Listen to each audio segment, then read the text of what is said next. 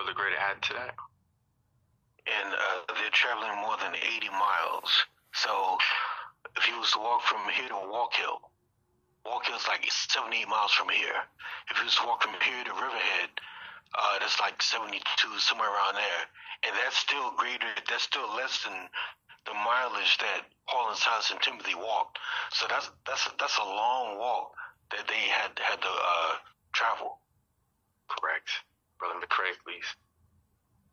that. And to add on to uh, Brother Gray's comment, 80 miles is quite a distance. And driving 80 miles by itself is a lot, but to walk it, uh, that's 24 hours roughly. And we can only assume the pace they were walking, especially Paul and Silas, due to their prior injuries. So that leads us nicely to our next question. So we think about this, the trek, the mileage, but was it just a pain-free walk? So what might be on our minds? Brother Miller, please.